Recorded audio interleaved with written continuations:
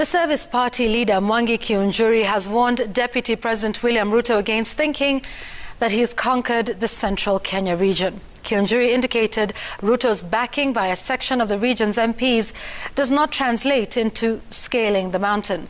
The Service Party leaders urged the DP to embrace other parties and individuals of interest if he intends to win the Mount Kenya bloc in the next general election.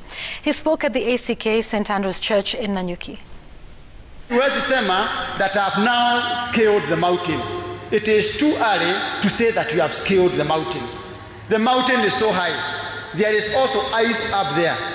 The weather can be very rough, very rough. And therefore, it is good for you to continue wooing the people, but don't think you have succeeded. Because the others who are following you, who knows that it is very difficult for them to scale the mountain.